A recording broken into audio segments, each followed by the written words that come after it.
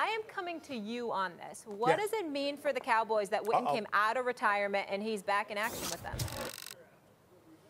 Well, first of all, let me be very, very clear. Yesterday, when the news first came out on my radio show, because I was on the air uh, live when the when the news came down, I was like, "Oh no," because to me, it elevates the Dallas Cowboys. Now, somebody, will, some folks would look at me and say, "You're absolutely drunk." The last time we saw Jason Witten in 2017, he ranked 39th among 95, 39th uh, uh, out of 94 tight ends in pro football. That was his, that was his ranking because of how inefficient he was. His yards per catch were under 10 yards. Okay, you obviously knew he wasn't getting any yards after the catch because he moved slower than a snail with arthritis, and snails can't get arthritis. That's how bad.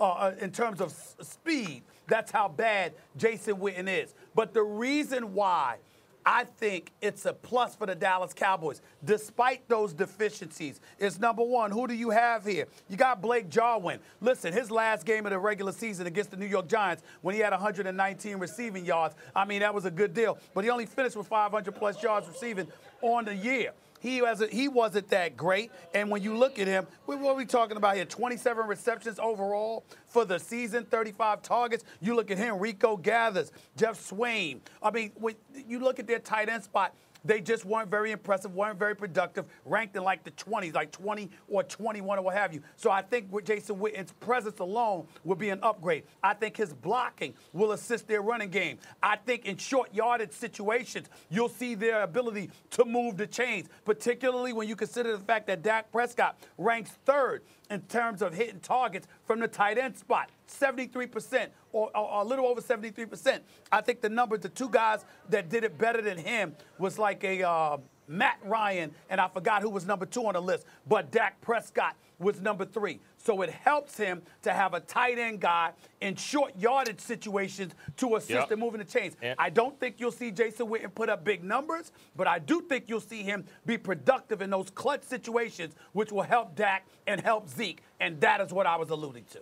And I think this is really all about leadership. I don't. I mean, listen, Witten can still. I think there is value, even when a guy can't get great separation and yards after catch. I mean, there's a value for a guy you know he'll somehow move the chains. We can get it to him as a safety valve. There's value there, but that's not what this is about. I think this is about stability and veteran leadership in a Dallas Cowboys locker room, guys, where we've seen news even recently. Like, put it this way.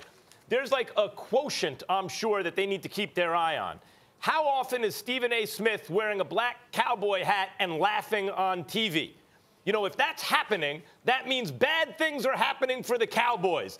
And, the, and, and what happened? Stephen A. Smith on a Monday has a cowboy hat cracking up on TV, and by Tuesday, Jason Witten's out of the booth and playing for the Cowboys again.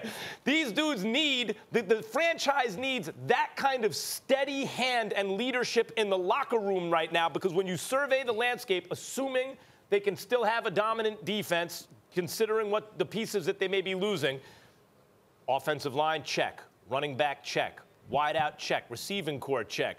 Quarterback, check. Defense, we, it, like it remains to be seen, but last year, that's a big check. What's the issue? Well, maybe they just addressed it. Yeah, really, when you look at this transaction, think big picture. Think about the importance of the 2019 season for everyone, starting at the very top of really the football hierarchy as it pertains to the team. Think about Jason Garrett's tenure in Dallas. Is it coming to an end? Dak Prescott trying to get a new contract. Ezekiel Elliott going to be getting a new contract here soon. Then move to the coaching staff ranks again. Let me go back to that. New offensive coordinator in Kellen Moore. New quarterback coach in Jon Kitna. Why wouldn't you bring in a guy like Jason Witten, who essentially is going to be a de facto coach as far as helping this football team on the football field from an X and O standpoint, from a true play calling, real time standpoint. And then you already spoke about both of you, Max and Stephen A. You both talked about the leadership part of it. This is really where Jason excels. The number one, the number one compliment that you could give any professional, whether it be early on in his career or late in his career, but particularly late in his career, when you know the athletic ability has started to decline, is the fact is when you call a guy a true pro. Clay Matthews, when I played for the Cleveland Browns, used to tell me that from day one when I walked through that building. Be a pro. You be a pro, everything else takes care of itself.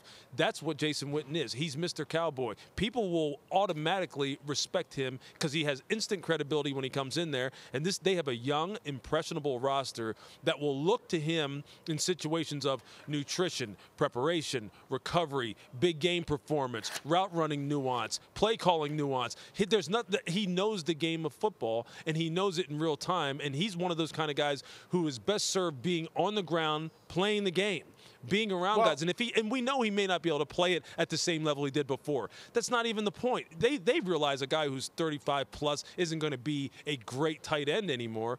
But see, this is what the difference is when you're talking about separating playoff teams in particular, which this this roster already is. What is the difference between being a playoff team, a well, wild card winner, and a Super Bowl winner? It's about leadership and chemistry, and Jason's going to help them with that. Well, well, Louis, I'm going to point to a couple of things. Number one, I think in a, in a, in a fourth and one situation, I think if Jason Witten is on that team, you probably get a first down, whether it's play action and dip it to him sure. for, a, for, a, few yards, or you got an additional block, blocker to help Ezekiel Elliott get that one yard they needed against the Los Angeles Rams in the divisional playoff game.